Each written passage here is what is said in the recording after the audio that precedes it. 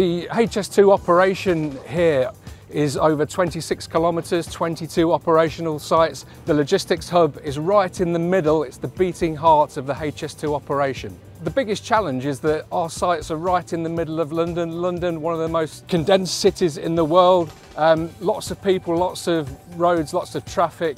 The main reason for the logistics hub is to deal with the material coming to and from four of our six main TBM tunnel boring machine drives. So that's taking earth away from that, those tunnelling activities and transporting uh, tunnel segments in the opposite direction to form the, the tunnels. Importantly to us is what's the best environmental and community impact outcome. Something like 5.6 million tonnes of earth has to move away from this site. We're removing something like a million uh, HGV movements from the streets. So there are four main activities that are producing the earth that we have to move away. So firstly, the Old Oak Common station development and the tunnel drive that goes from that station development towards Euston.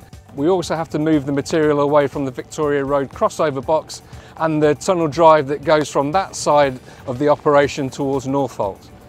There are three locations identified to move the earth by rail two. So Barrington in Cambridgeshire, Rugby and Cliffe in, in Kent. And those sites have all been chosen because the material will go to beneficial reuse. So at some point, um, development will happen at all of those sites. Coming into the, the terminal are tunnel segments. So they're made uh, two locations identified to bring trains off tunnel segments. Those segments are transported and placed to form tunnel rings and they will uh, be the tunnels that the trains eventually will, uh, will go to.